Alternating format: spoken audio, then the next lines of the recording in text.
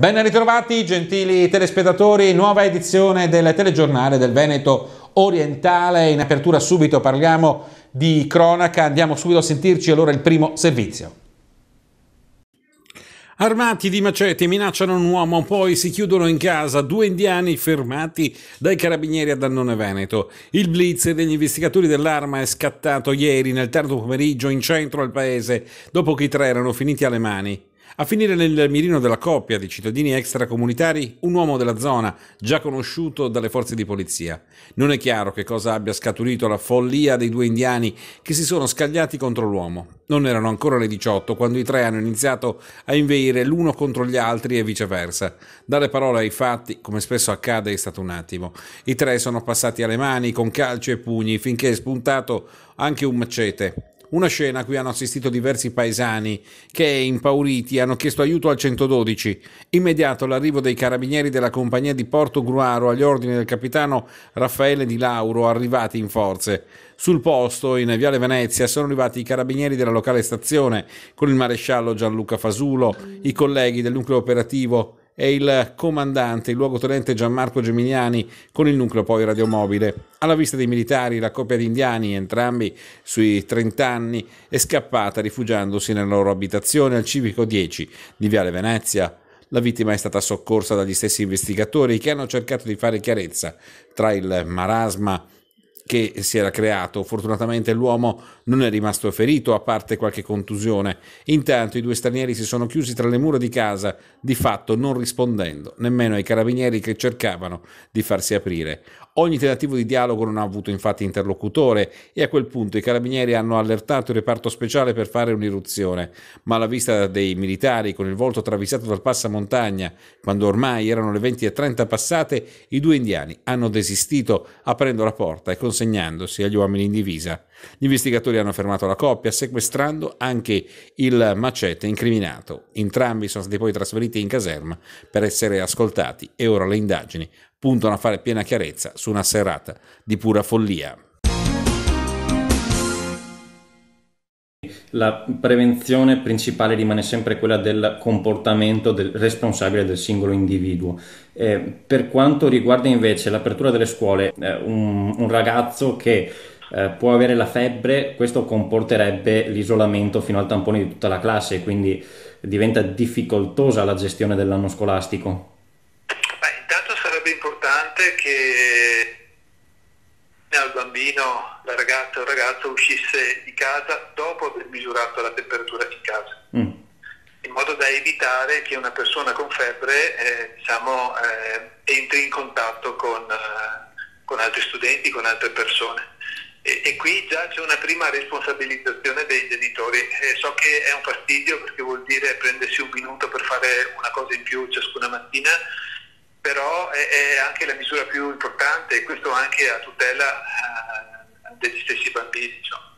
E, e, questa è una prima forma di monitoraggio. Poi è chiaro che ci dovrà essere eh, un collegamento diretto, preciso e, e rapido tra la struttura scolastica e, e, la famiglia, come però insomma, di solito avviene, per cui eh, su questo starei tranquillo. Il problema ci può essere, ricordo, perché nel periodo autunnale non è che eh, ci sia solo il Covid, per cui ci possono essere altre malattie, ci sono altre malattie anche con sindromi eh, influenzali, sintomi respiratori, eccetera, eccetera, che possono mandare in allarme una classe, una scuola, senza necessariamente coinvolgere il Covid. Quindi bisogna tenere i nervi saldi e, avere un rapporto diretto eh, con l'autorità sanitaria per distinguere caso per caso. È fiducioso che l'anno possa partire e arrivare a conclusione? Io direi di sì, perché molte misure sono state prese correttamente. Eh, se eh, manteniamo anche il rispetto dei comportamenti individuali che sono indicati, secondo me ce la facciamo. Sindaco, un ultimo messaggio che vuole rivolgere ai suoi cittadini? Eh, il messaggio che rivolgo è che eh, i ragazzi che vanno a scuola sono i ragazzi di tutti anche se magari non sono precisamente mio figlio o mia figlia, è la nostra gioventù e come tale va particolarmente tutelata se vogliamo dare un futuro al nostro paese.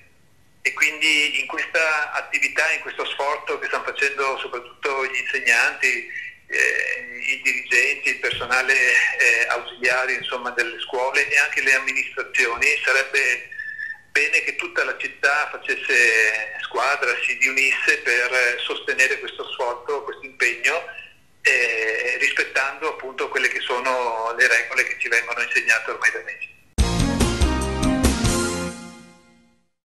Con l'avvio della scuola, dopo la chiusura forzata di tutti gli istituti scolastici nazionali del mondo, a causa dell'emergenza sanitaria Covid-19 che ha costretto bambini e ragazzi a seguire le lezioni online e a studiare tra le mura di casa, affiancati da genitori oberati dal lavoro e dalle incombenze domestiche, c'è un inizio pieno di dubbi, di preoccupazioni, sia per gli genitori che per gli insegnanti, una paura che si accenda in focolaio è davvero grande. Ed ecco che la tecnologia arriva a tranquillizzare gli animi e a garantire un rientro in tutta sicurezza. Sono decine le scuole in tutta Italia ad aver adottato infatti un dispositivo, tra le altre la Daniele Manin di Susegana nel Trevigiano, dove gli studenti hanno trovato ad attenderli Spry for Life, una colonnina digitale antifocolai in grado di rilevare rilevare la temperatura corporea, disinfettare le mani e anche i piedi in modalità no touch e solo in questo modo possono entrare nell'istituto. Se questo totem rileva però un'anomalia, ovvero la temperatura elevata, lo segnala con un suono e lo studente non può accedere in aula. Tra le funzioni disponibili c'è anche quella per cui in tempo reale il responsabile della sicurezza avrà nel suo smartphone la situazione delle misurazioni, degli accessi e di tutto quello che succede, una tecnologia avanzata che permette di eh, prevenire all'istante i possibili focolai. Un dispositivo anti-Covid di un'azienda veneziana Sunrise in collaborazione con l'azienda Stiplex di San Giorgio delle Pertiche nel Padovano, nota per aver installato le sue colonnine durante la delicata fase di lockdown in diverse strutture commerciali e ambientali sia in Italia che all'estero. Sunrise è una startup innovativa fondata da un gruppo di imprenditori specializzati in tecnologia e innovazioni sanitarie. Il founder è Simone Tomasello, noto imprenditore nel settore Oreca dell'event management. La sede dell'azienda, che ha brevettato Spray for Life, Box for Life e il robottino, è invece a Caorle, appunto. L'acquisto, anche come anche il noleggio del dispositivo, è integralmente, integralmente personalizzabile nella sua grafica esterna e soggetto alle detrazioni fiscali previste dal governo e comprendono anche un credito d'imposta come sancito dallo stesso decreto. Alberto Teso, avvocato delegato di Ascom per il territorio di San Donato e Jesolo. Eh, avvocato, sono in arrivo delle novità che riguardano i bandi per il settore non agricolo che ha a che fare con il commercio. Quali sono queste novità, avvocato? Beh, di un paio di giorni fa l'approvazione da parte di Avepa, che è l'agenzia regionale che si occupa appunto dei, dei bandi di finanziamento, eh, dell'approvazione di ben nove progetti presentati da eh, attività commerciali, non agricole, eh, gestite da eh, Vegal, che è il gruppo di azione locale del Veneto orientale, costituito dai comuni del mandamento di San Donà e Portogruaro e delle associazioni di categoria, eh, e veicolate tramite Vegal alla Regione Veneto, che poi ha erogato questi contributi una volta valutati i progetti presentati. Sono 200.000 euro a fondo perduto che vanno a nove imprese, da Portuguarese, San Donatese e Esolo, ehm, e finanziano dal 35 al 40% di un determinato progetto. Questo vuol dire che si muoveranno entro i prossimi mesi investimenti per circa 500 mila euro eh, il, il 40% o 35% lo mette eh, la regione, eh, il, la quota rimanente la mette il privato, però è un, è un, buon finanziamento soprattutto in un momento di difficoltà come questo. Partecipare a un bando non è facile perché non è un bancomat o un jukebox dove basta inserire la monetina e avere un determinato risultato, eh, c'è un'istruttoria complessa, non tutte le domande vengono accolte, eh, noi siamo molto soddisfatti come Confcommercio perché sulle nove domande accolte dalla regione regione, 8 sono state istruite e preparate dai nostri uffici di San Donà e Portogruaro. Questo significa che eh, se l'imprenditore ha una buona idea e si rivolge all'associazione di categoria che riesce a istruire bene la pratica, ha buone probabilità di vedere accolta la sua domanda. Questi sono fondi che devono essere utilizzati, altrimenti tornerebbero all'Unione Europea. Sì, questi sono fondi europei, non, ancora, non stiamo ancora utilizzando quelli del Recovery Fund, eh, sono fondi europei che devono essere utilizzati, pertanto è importante anche che a questi bandi vengano eh, pre- presentate le domande, perché dobbiamo spenderli questi soldi, perché le somme non spese ritornano, ritornano indietro. Soprattutto progetti spendibili, quindi attuabili. Sì, il messaggio che vogliamo dare eh, è questo, c'è la possibilità di avere eh, del denaro fresco a fondo perduto ci sarà ancora più probabilità eh, nei mesi a venire, proprio quando arriveranno eh, questi fondi nuovi dall'Unione Europea, però bisogna avere dei progetti preparati, quindi l'imprenditore deve sapere che se ha un'idea la deve concretizzare in progetti, deve raccogliere preventivi, deve rivolgersi a un professionista o all'associazione di categoria come la nostra che gli prepara alla pratica, in modo che quando esce il bando la domanda può essere presentata rapidamente perché i tempi sono spesso molto ristretti, quindi è difficile che all'uscita del bando, uno se non è già pronto, che ha preventivi, eh, eh, disegni, studi, mh, previsioni già pronte, è difficile che riesca a soddisfare i tempi e la documentazione necessaria per la partecipazione al bando. Queste eh, 8-9 aziende che hanno partecipato hanno richiesto fondi per ristrutturazioni e eh, rinnovamento di sì, attrezzature. ristrutturazioni, rinnovo locali, eh, sia per ristrutturazioni edilizie che per rinnovo, rinnovo dell'attrezzatura. In questo caso specifico il bando si chiama 6.4.2, è un bando legato al territorio, quindi bisognava presentare una domanda in qualche maniera collegata al nostro territorio del Veneto orientale, quindi collegata a piste ciclabili, a prodotti del territorio, eccetera. Ma ce ne saranno molti altri bandi che arriveranno, bisognerà, bisognerà essere pronti pronti e preparati. Quindi prepariamo progetti esecutivi, andiamo da architetti, prepariamoci con tutta la documentazione, raccogliamo preventivi perché nei prossimi mesi bisognerà essere pronti. Se questi soldi non li spendiamo noi, li spenderà qualcun altro.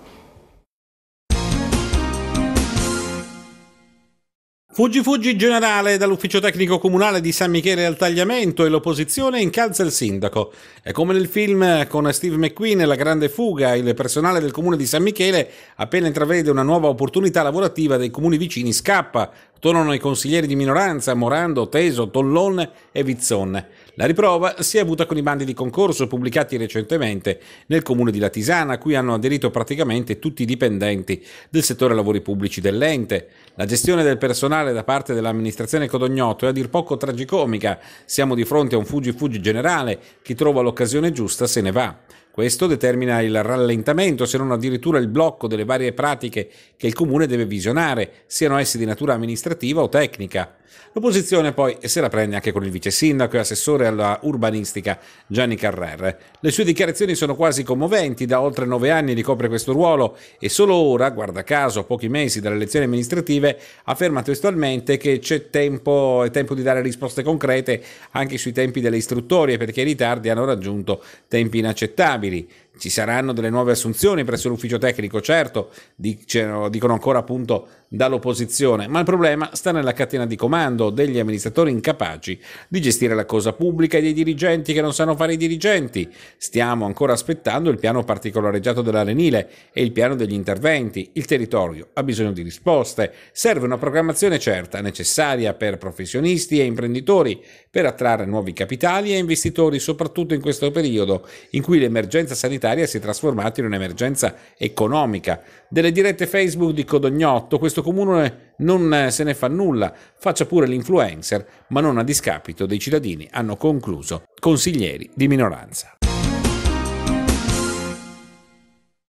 Siamo alla fine della terza edizione di Terre Volute Festival della Bonifica. Siamo tutti molto stanchi, ma siamo davvero molto contenti e molto entusiasti. E questo entusiasmo spero ci accompagnerà, sicuramente ci accompagnerà per le prossime edizioni fino al 2022, quando celebreremo il centenario appunto del grande convegno che si è tenuto nel 1922 qui a San Donà di Piave.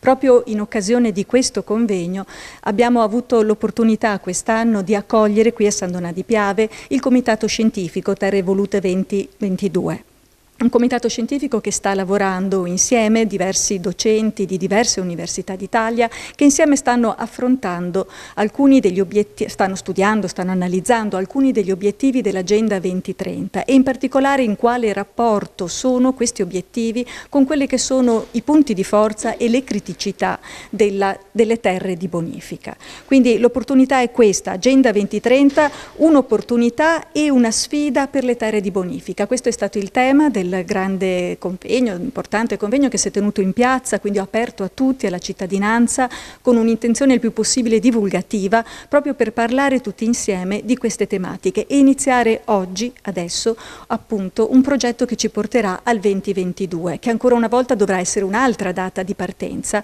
per andare avanti, per andare oltre, oltre anche il 2030. Quest'anno abbiamo cercato per quanto possibile, pur essendo in emergenza sanitaria, anche di lavorare molto sulla comunicazione visiva. Abbiamo addobbato tutta la piazza proprio con le immagini degli obiettivi dell'Agenda 2030 perché stimolassero la curiosità, perché fossero un'occasione per chiedersi di che, che cos'è, di che cosa stiamo parlando, perché vogliamo appunto che la gente ci sia vicina, che la gente ci accompagni tutti, la cittadinanza, tutte le generazioni ci accompagnino in questo processo che va appunto verso un futuro territorio molto delicato, un territorio nel quale che, bisogna mantenere, mantenere, giorno per giorno, un territorio che bisogna mantenere giorno per giorno, bisogna essere sempre presenti, sempre attenti e tutti i lavoratori dei consorti di bonifica ci dimostrano come questa emergenza sia parte della loro stessa passione per il lavoro che svolgono. E quindi disseminare anche nel territorio la possibilità di, di vedere, vedere le idrovore, vedere gli argini dei fiumi, visitare queste terre, visitare anche le aziende aziende che oggi prosperano all'interno di queste terre è un'occasione importantissima che non sempre è possibile fare e quindi in questi giorni di festival invece abbiamo idrovore aperte, abbiamo aziende aperte e la cittadinanza risponde molto bene, abbiamo persone in bicicletta, persone che camminano, persone che prendono appunto le barche elettriche e quindi mille modi per visitare questo paesaggio e in più anche mostre artistiche, abbiamo oggi inaugurato delle mostre bellissime al Museo del Paesaggio di Torre di Mostra mostro ancora una volta delle meraviglie che appunto ci parlano di paesaggio, degli occhi degli alberi che si illumineranno questa sera, che davvero fanno parlare di ambiente, di uomo e di questo rapporto meraviglioso che dobbiamo appunto preservare. La carica di 50.000 per il passo barca di Bibione si conferma un grande successo l'attraversamento del tagliamento che da Bibione porta a Lignano, così come le visite al faro. Dal 27 giugno scorso al 5 settembre, in 70 giorni, ben 50.965 persone hanno usato l'imbarcazione che collega la spiaggia veneta con quella friulana di Lignano, attraversando il fiume Tagliamento. Contestualmente sono 77.900 i turisti che hanno invece visitato il vicino faro e le mostre allestite all'interno. A ciò si aggiungono i 3.730 passeggeri che hanno usufruito dell'altro passo barca che da Porto Baseleghe porta alla Brussa Valle Vecchia di Caorle. La regione Friuli Venezia Giulia, visto il successo del progetto che coinvolge anche il comune di Lignano, ha deciso di prorogare il servizio per tutto il mese di settembre. Non solo, perché il servizio sarà attivo anche per i fine settimana di ottobre.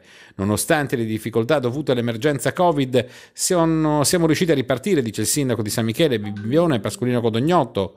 Quella del passo barca rappresenta una nuova formula di proposta turistica che sta riscuotendo sempre più consensi. Il collegamento di turisti per le vie d'acqua anche tra regioni è riconosciuto come un nuovo modo di trasporto ecologico.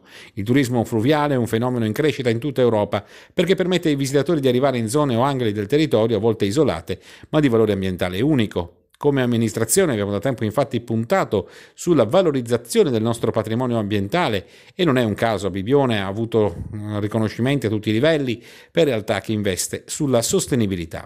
Un servizio che ha coinvolto anche Atvo che attraverso il servizio urbano e quello gratuito Bike and Bus ha collegato l'entroterra e la località turistica fino alle piste ciclabili che portano agli approdi. L'ambiente che ci circonda è una risorsa vera e propria che abbiamo a disposizione e che, unito agli oltre 50 km di piste ciclabili, conferma conferma la vocazione di Bibione Spiaggia, conclude Codognotto, che va oltre l'ombrellone e lo sdraio, offrendo una serie di servizi diversi che incrementano lo slow tourism sempre più ambito dalle famiglie. Non è un caso se a Bibione in certi giorni circolano circa 15.000 biciclette. Il passo barca è un successo che si è consolidato, ha spiegato l'assessore alla viabilità di Lignano, Marina Bidin.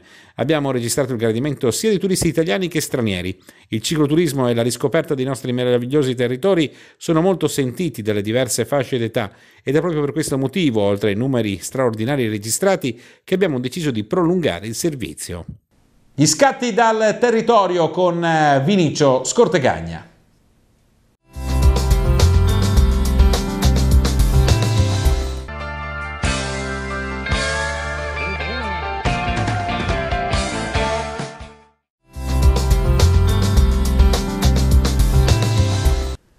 I nostri servizi, i nostri live li trovate sulla pagina Facebook di Media24. Ci fermiamo con questa edizione, torneremo con le altre nel corso della giornata. Rimanete con noi. Alla prossima.